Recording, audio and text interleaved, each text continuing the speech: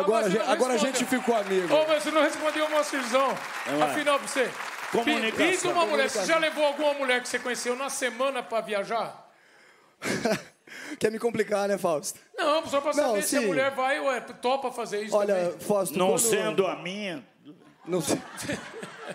Quando eu me separei, Fausto, a minha ex-mulher era minha companheira nas minhas primeiras expedições e a gente fez essas viagens de motorhome, de avião. Foram viagens muito legais, muito bonitas. Você acha que foi por isso que ela resolveu se separar de você? Não, acho que não, Anne. Na verdade, foram outros motivos, mas eu, eu procurei a- uma terapia para saber né, o que, que eu podia melhorar e o que, que, o que, que poderia ter acontecido, porque é sempre assim, é, é- responsabilidade de ambas as partes, né? Então eu acho que é, é importante que o, o homem também se coloque nessa Mas posição peraí, de você conversa com o rever. Moacir. O Moacir casou pouco, poucas vezes. Poucas vezes. Quantas vezes, Moacir?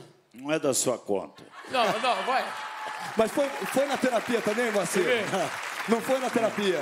Não, não, não. Mas Não. 18 vezes que ele casou. Então, é, não, ele eu pode casei. mostrar. O Moacir é o único cara que pode falar: ó, trabalhando junto da mulher, é melhor ou pior? Eu é o seguinte, Você eu, fez nun- tudo. eu nunca parei de ser corno, nem um ano da minha Não, eu tô brincando. Mas é difícil, meu amigo. Você que está no começo, Não, mas agora eu separei. Você- Aí você- agora, agora é outro momento, né, Moacir? Você- Dá um Aí, João conselho aí. Guilherme, presta atenção. O Moacir Mas- fala na lata. João Mas Guilherme, a gente é quando mais você- novinho aqui, ferrou. Aí, João. mas aí você está no mar, você está sozinho. Isso. E aí quando você vai, quando você volta, eh, você nada. Nada, nada até a praia, chega na praia e tem outras oportunidades, né? Mas a questão é que eu perguntei para minha Você tem controle terapeuta. pra isso mesmo, meu. Eu Ah. perguntei para minha terapeuta se eu devia é, encontrar e buscar uma nova companheira para fazer essa terceira expedição de barco. E ela olhou bem séria para mim e disse: Max, eu acho que você tem que ter um amor em cada porto. Eu dei risada com ela, ela deu risada.